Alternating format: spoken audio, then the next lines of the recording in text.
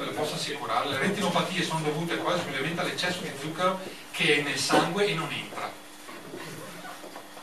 Questo è l'insulino resistenza. Quindi il pancreas funziona, ma non serve ad abbassare la glicemia. Ok?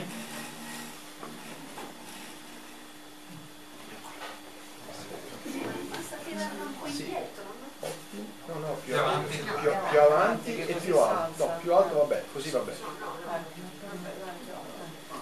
Tanto lì si, lì si vede, sopra è troppo basso. No, così è troppo basso. Ma dietro non, non si vede, Si vede. Forse ancora. Devi mettere un po' più alto perché sotto non si vede niente. Per sotto ve lo leggerò io. Ok, grazie. Ecco una vignetta che ho trovato, modificato in inglese, persona al supermercato che gli chiede al commesso, scusate ma non avete nulla senza i pericolosi acidi grassi idrogenati, cioè margarita? Sì, gli dice le sigarette vero. E avrei qualche dubbio anche nei sigarette che non ci rifilino dentro anche gli acidi grassi idrogenati, tanto sono così ubiquitari che li trovate dappertutto. E qui la vignetta che dice non sono nata acida è la gente che mi ha cambiato il pH. Che cos'è il pH del terreno? Ecco, qui entriamo in un argomento estremamente importante e delicato, perché tutti gli alimenti, tra virgolette, che vi ho fatto vedere prima, quindi cereali raffinati, gli zuccheri, le proteine di origine animale, compresi i grassi di origine animale, che cosa fanno? Producono degli acidi metabolici, cioè dopo il nostro metabolismo, cioè dopo la nostra digestione, producono delle ceneri acide. ok? Queste ceneri acide dove vanno? Devono essere tamponate dal sistema. Vi ricordo che il nostro sistema è un organismo alcalino, non a caso il Padre Eterno ci ha dato un pH del sangue che è 7.365. Sopra il 7 siamo nella basicità o alcalinità, sotto il 7 siamo nell'acidità per qualcuno se non ha in mente la scala, la scala del pH. Quindi l'organismo umano, a parte la vagina nella donna e lo stomaco nell'uomo e nella donna, il resto quasi tutto è alcalino o alcalino o basico. Quindi quando noi produciamo degli acidi, l'organismo deve tamponarli. E li tampona con cosa? Con dei minerali. E se noi non li mettiamo dentro con l'alimentazione, sapete dove li trova i minerali l'organismo umano?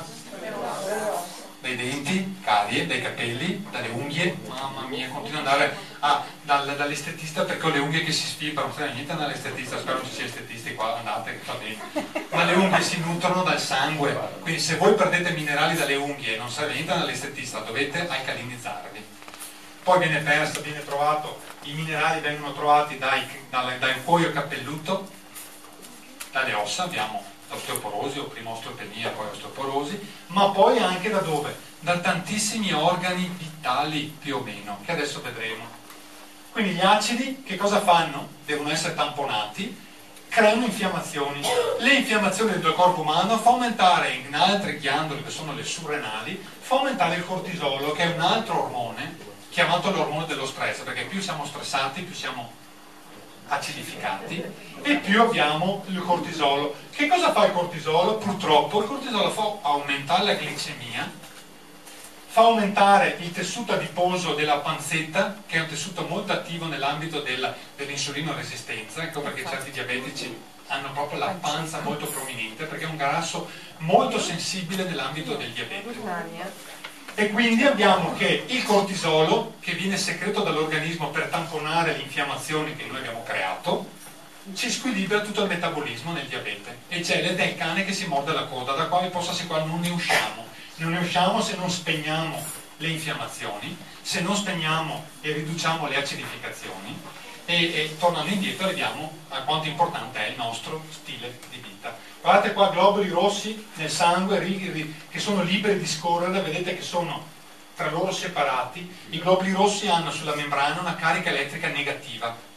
Sapete tutti più o meno che cariche elettriche uguali si respingono. Quindi tra loro i globuli rossi si possono avvicinare, ma fino a un certo punto poi c'è la repulsione elettrostatica. ok? Questo in un sangue di una persona sana. Quando il nostro sangue inizia a diventare sempre leggermente, attenzione, non può mai diventare acido il sangue sotto 7 se no moriamo, però basta qualche decimo in meno del pH per far sì che cosa? Che gli elettroni della superficie cellulare si staccano perché gli elettroni lavorano in funzione del terreno, quindi del pH del terreno, e quello che vedete lì è il sangue di una persona con il, con il sangue ovviamente non sano, quindi tendente all'acido. Qui i grandi della medicina danno il Coumadin e la spirinetta, cioè per fluidificare il sangue, invece di arrivare a comprendere che magari è legato, dico magari, sto vedendo insomma, per caso. per caso, esatto, è legato al nostro stile di vita, cioè a un'iperacidificazione del nostro terreno organico, che non è solo il sangue, la linfa e tutti i liquidi extracellulari. Guardate la due, le differenze che ci sono tra i due sangue, i due sangue, che è chiaro che qui le globuli rossi riescono a portare l'ossigeno e tutti i nutrienti dove servono, è chiaro che quello lì no, anche perché se guardiamo, questo è un'immagine di un capillare del fegato, questo verde che vedete è la linfa, guardate il globulo rosso, è praticamente quasi grande come il capillare, quindi quando il sangue scorre nei capillari è come se si mettesse in fila indiana per entrare comodamente.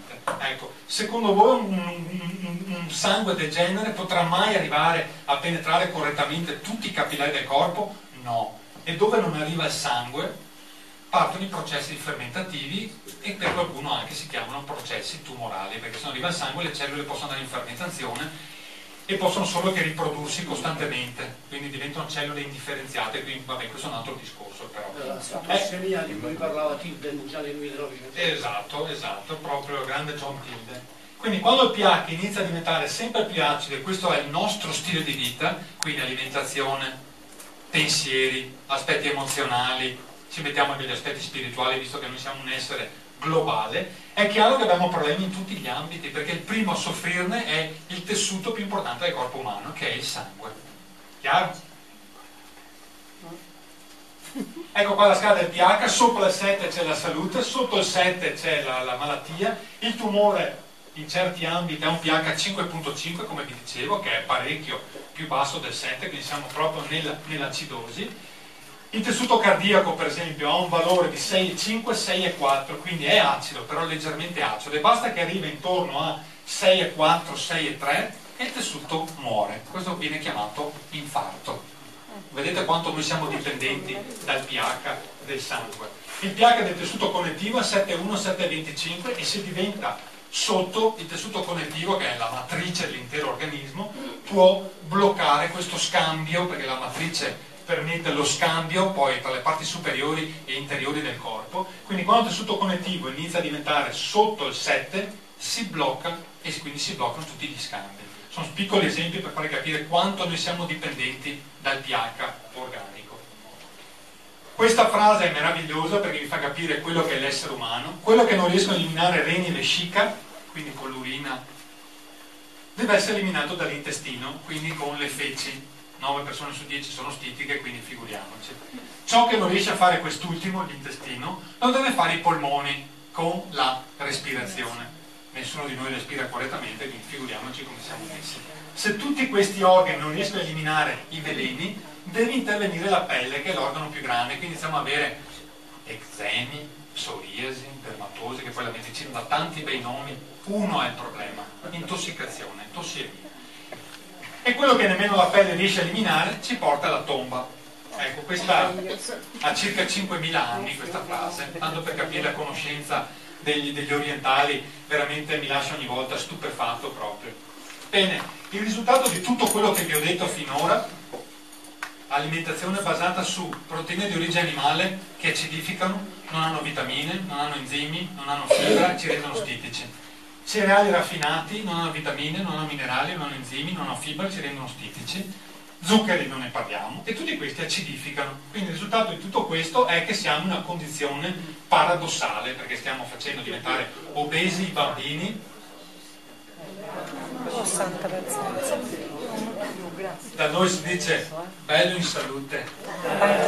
Ecco, siamo lontani anni luce dalla realtà. Ecco, quello lì è già in piena acidosi, povera creatura, e quindi è già predisposto a parecchie patologie, tra cui l'obesità quasi di sicuro, ma anche tutto il resto. Ma non solo, stiamo facendo diventare obesi anche i nostri animali da compagnia. Ah.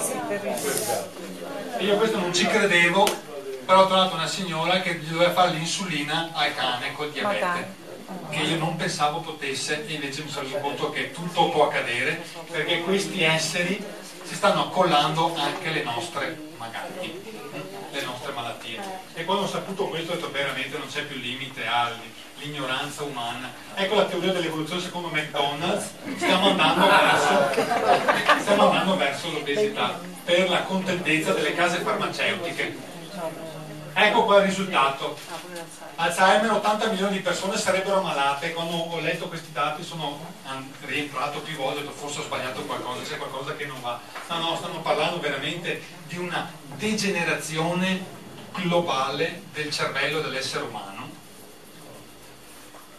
Cancro, non perdo neanche tempo perché sappiamo tutti ed è impossibile non avere un parente, un amico un familiare che o lo sta vivendo oppure l'ha vissuto, guardate il costo sociale, se poi ci chiediamo ma veramente qualcuno con 900 miliardi di dollari vuole veramente sconfiggere il cancro, rispondete voi perché io, la mia risposta sarebbe già scontata.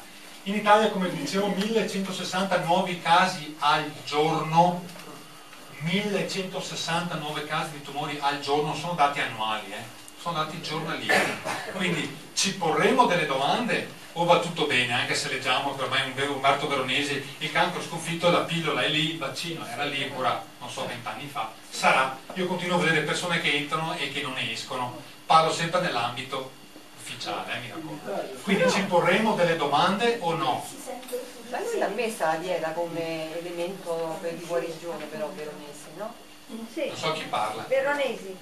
Veronesi l'ha messa la dieta come base per la vegetariana. La dieta vegana. vegana. Certo, ma adesso Veronesi che ormai è lì lì per lasciarci, si sta lavando la coscienza, eh, esatto. fa un digiuno a settimana, quindi lui fa un giorno di digiuno a settimana, scrive un libro sul digiuno, quindi è chiaro adesso le cose lui le sa benissimo, ma le sa da tanti anni. Posso aggiungere una cosa?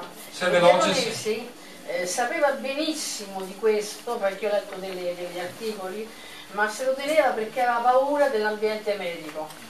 Quindi lui si è sempre trattenuto dal dire che l'alimentazione era importante, perché aveva paura dell'ambiente medico. Io sono un medico, quindi lo dico proprio perché ecco. Qualsiasi persona che ne ha parlato.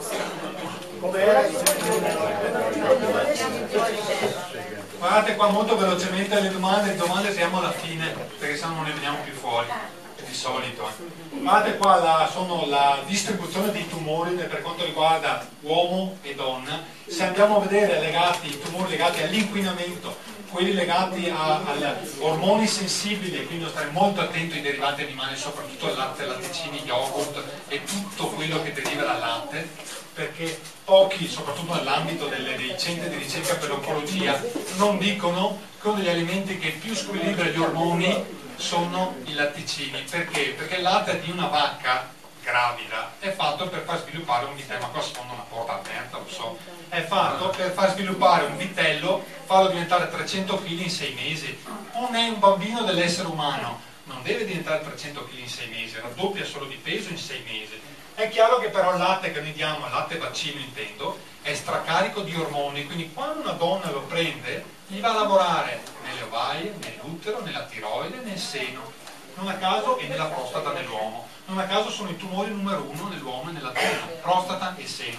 Guarda caso. Okay? Comunque se rimettiamo quelli alimentari assieme agli ormoni sensibili che sono strettamente legati all'alimentazione, a quelli dell'inquinamento, e vi ricordo che la maggior parte dell'inquinamento arriva sotto forma di grassi animali, soprattutto i metalli pesanti, andiamo a vedere che la stragrande maggioranza dei tumori sono legati al nostro stile di vita, quindi alimentazione, modo di pensieri, sentimenti, emozioni, eccetera, eccetera. Va bene? Quindi è chiaro che il nostro stile di vita gioca un ruolo importante, che ci piaccia o non ci piaccia.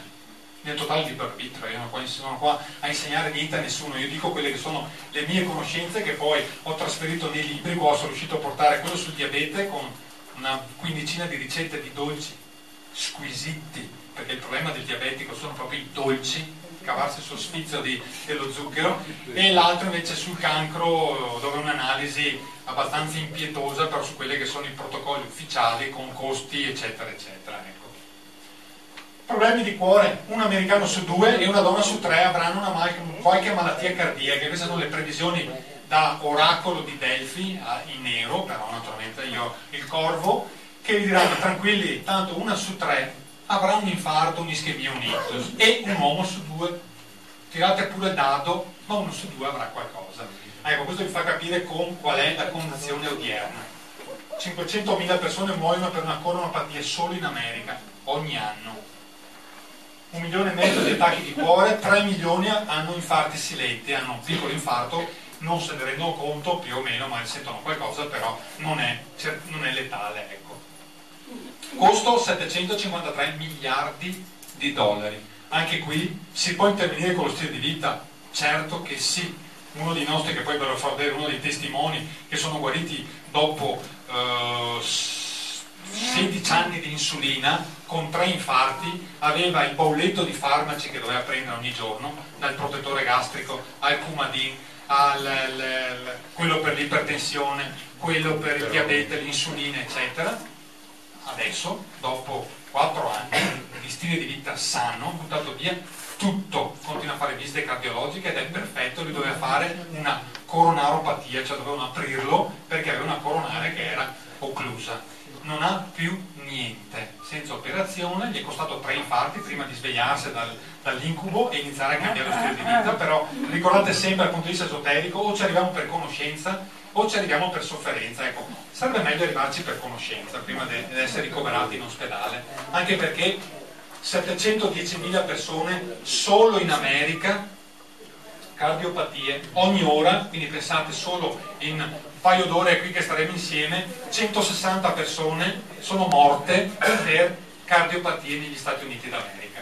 Un ictus colpisce 167.000 persone, sempre nell'ambito degli Stati Uniti d'America, ogni giorno sono 20 persone. In Italia non è che stiamo tanto meglio, eh rapportando la popolazione americana siamo lì come livello patogeno e quindi abbiamo 223.000 malattie cardiovascolari, 25 persone ogni ora muoiono, infarto del miocardio e ictus cerebrale. A tutto questo si può intervenire? Sì, ve lo ripeto, sì, bisogna tirarsi sulle maniche e iniziare a cambiare qualcosa, cambiare il modo di pensare, cambiare stile di vita, cambiare qualcosa nel totale libero arbitrio. Il diabete, ecco qua, la pandemia del secolo, dopo il cancro, previsioni dell'OMS, invece di dire entro il 2030 il diabete è un ricordo, l'abbiamo debellato, no, mezzo miliardo di persone avranno diabete. Okay? Spesa sanitaria 376 miliardi di dollari, entro il 2030 arriveremo a 500 miliardi. Se sommiamo diabete, cancro e le altre, le guerre fanno ridere come spese belliche, fanno ridere in confronto a quello che ruota attorno alle industrie della chimica e farmaceutica, cioè alle case farmaceutiche. Ogni 10 secondi una persona muore per cause legate al diabete, due si ammalano e un bambino su tre avrà il diabete da adulto, secondo il CDC, il tristemente noto Centro di, per le ricerche delle malattie di Atlanta, ufficialissimo. Eh. Tranquillamente dice che un bambino su tre avrà sicuramente il diabete da adulto, forse anche sperano che un bambino su tre avrà il diabete, mi raccomando. Anche perché quello che ruota attorno, io mi sono fatto per un tot di tempo i test, quindi mi bucavo come un diabetico per misurarmi la glicemia e un giorno eh, ero andato in farmacia per prendermi gli aghetti, chissà, sa meglio di me. Ecco. Sono andato a prendermi gli aghi e il farmacista giustamente mi chiede la ricetta. No, mi viene una scatoletta di aghi, detto quanto costerà mai una scatoletta di aghi? Sono aghi che ne vengono usate 5-6 al giorno, per il minimo so 4-5 misurazioni, ecco diciamo 3 minimo, in alcuni casi anche 4-5 al giorno. Mi dà la scatoletta con 60 aghi e mi spara 60 euro. Grazie, li ho lasciati là ovviamente. Ecco. Un euro ad ago, noi non sappiamo queste cose perché tanto paga il sistema sanitario, ma paghiamo tutti con le tasse.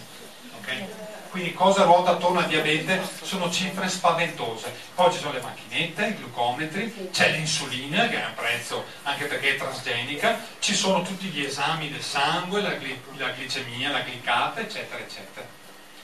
Bene, ecco qua le associazioni che ci stanno, cioè che ci odiano, bisogna proprio dirlo, perché ogni volta che organizziamo qualcosa fanno di tutto per boicottarci.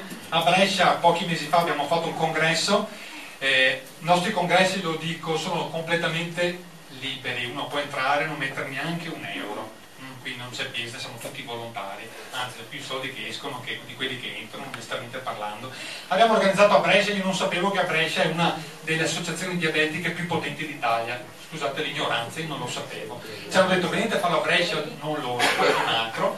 Abbiamo fatto la richiesta della sala, la sala la danno gratis a tutti, tutte le associazioni. Noi ci hanno dato la sala a gratis. Abbiamo chiesto il patrocinio, ho detto spariamo alto, patrocinio della provincia e ci hanno dato il patrocinio col convegno, tutto quanto sul diabete.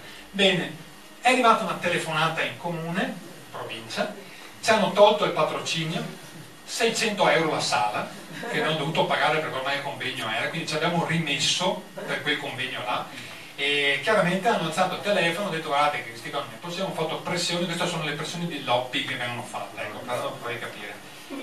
E passato il convegno ci abbiamo rimesso, è stato un successo, purtroppo per loro saranno, saranno venuti inacidosi i vari, membri delle associazioni. Poi con un avvocato abbiamo fatto richiesta del rimborso perché la sala era gratis, ci hanno ridato anche indietro incredibilmente, perché hanno una coscienza molto sporca, hanno dato indietro anche i 600 euro, siamo stati felicissimi proprio. Però per farvi capire cosa si sta muovendo in questo ambito.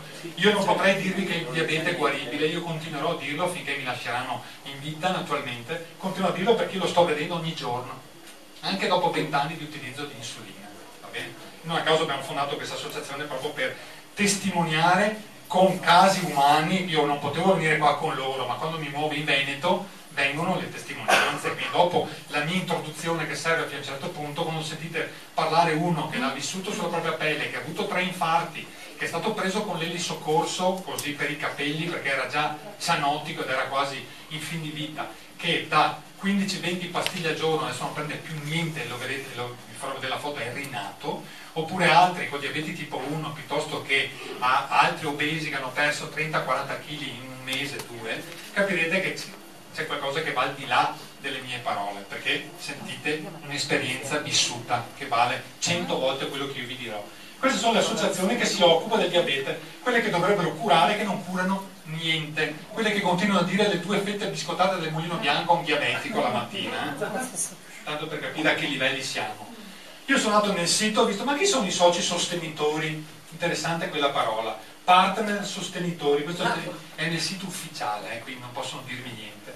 Sono tutte le principali case farmaceutiche che sfornano insulina, aghi, glucometri, ecco, quindi figuriamoci se questi possono dirmi qualcosa a me che io non ho contatti e collegamenti con nessuno, se non con la mia coscienza. Novartis, Eli Lilly che fa una, una buona insulina e, e tutto il resto, ecco, tutto il resto sono, sono tante amenarini, sì.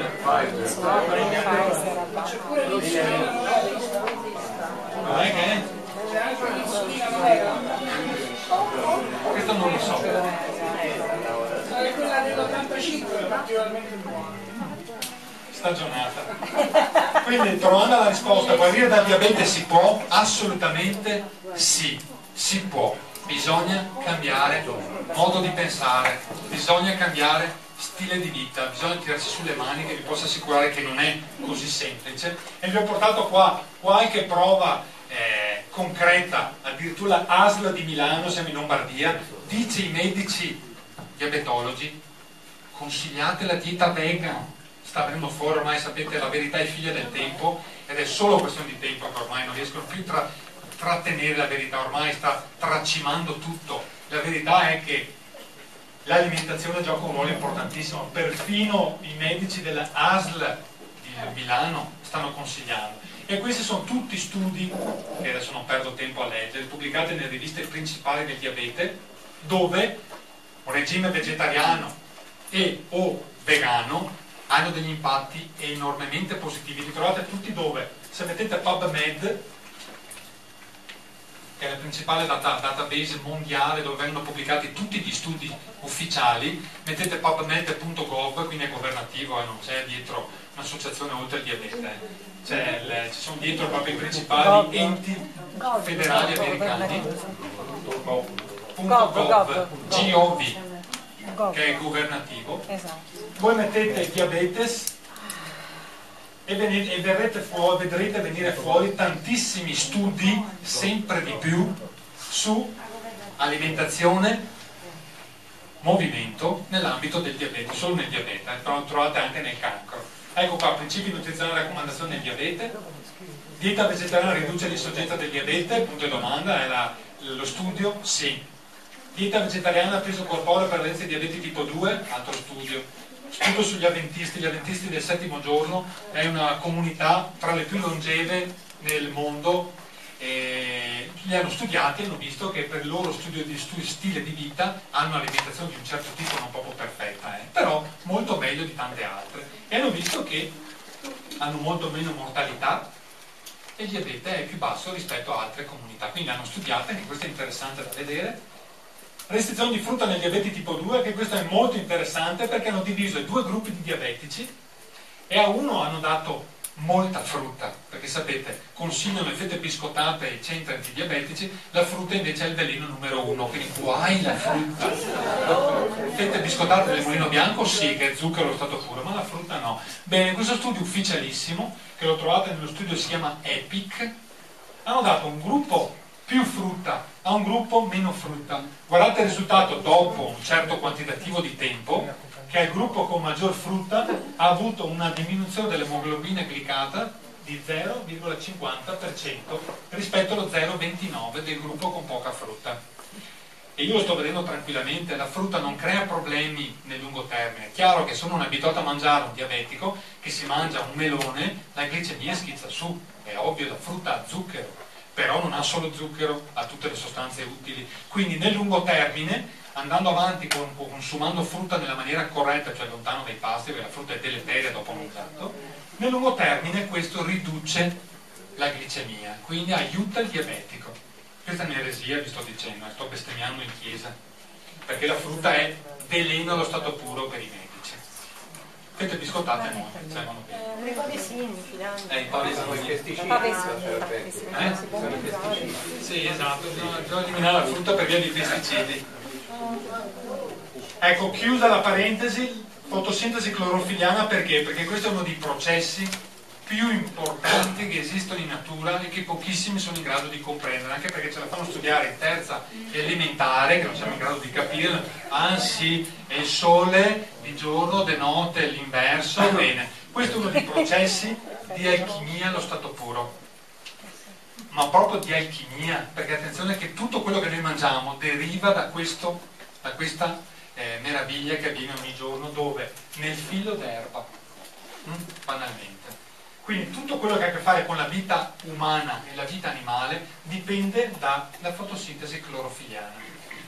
Mediante questo sistema le piante, le alghe e alcuni batteri che cosa fanno? Riescono a catturare l'energia del sole trasformarla, non sappiamo come, perché noi siamo in grado di fare i grandi eh, ciclotroni, questi mega eh, attrezzature spaziali in grado di accelerare gli atomi, noi non siamo in grado di fare quello che un filo d'erba fa ogni giorno, e cioè prendere il sole e trasformarlo e da energia farlo diventare materia, cioè zucchero, che è quello che si produce nella fotosintesi clorofiliana. Quindi catturo l'energia solare per produrre lo zucchero, che è il principio base dell'alimentazione umana. Zucchero non si intende solo il saccarose che noi pensiamo nel bar. Okay? L'energia luminosa viene trasformata in energia chimica, energia chimica che permette la vita agli animali e agli esseri umani. Guardate questa piramide.